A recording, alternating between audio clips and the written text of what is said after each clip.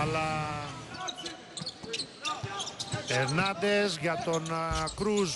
Κρούζ με τον Αγραβάνη μετά τις αλλαγές πάνω του.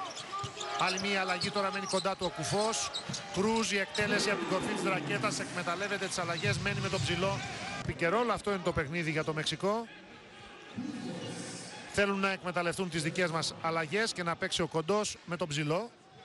Παίξει και πάλι με τον Κουφό. Κρούζ βλέπει το ρολόι, πάει χαμηλά.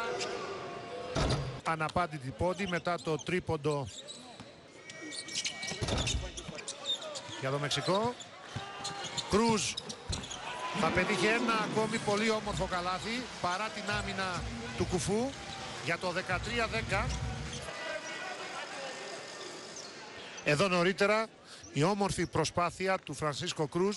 Κρούζ μένει με τον ψηλό, παίζει ένας εναντίον ενός με τον Μπουρούση, σταυρωτή εκτέλεση αφού κερδίζει ένα μέτρο μπροστά το Μεξικό 16-15 και μπήκαμε στο τελευταίο λεπτό για την πρώτη περίοδο. Ισραήλ Γκουτιέρες ξαναζητάει τη βοήθειά του, πάλι το ίδιο πράγμα το πλάι, μένει με τον Μπουρούση.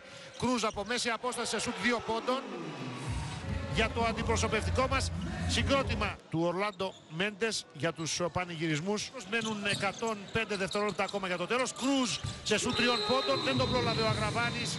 1 και 43 για το φινάλε τώρα. Μέντες, Κρούζ, φάουλ από τον Μπόγρη, καλάθηκε φάουλ.